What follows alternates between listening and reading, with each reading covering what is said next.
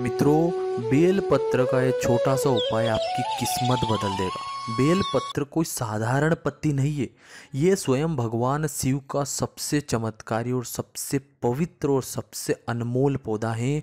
केवल एक बेल पत्र के पत्ते को मैं जिस तरीके से बताता हूँ, उस तरीके से अपने पर्स में रख दो, आपके पूरे जीवन में कभी भी पर्स में पैसा खत्म नहीं होगा।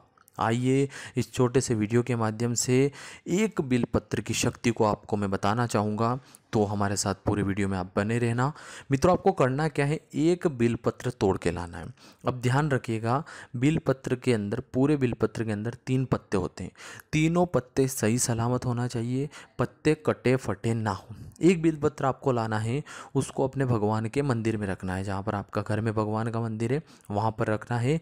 एक मंत्र का जाप करना है, ओम हीम क्लीम माता महालक्ष्मी, मम ग्रहे आगच्च आगच्च हिम नमः। इस मंत्र का 108 बार जाप करना है, अब वो कोई साधारण पत्ती नहीं है।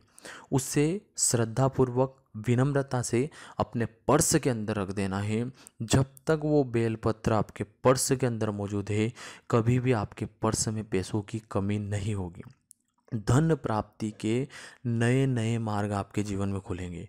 उस पर्स से पैसा निकाल कर जो भी नया काम करेंगे, उसमें आपको शत प्रतिशत शत प्रतिशत सफलता मिलेगी। बहुत ही अद्भुत मंत्र और टोटका है।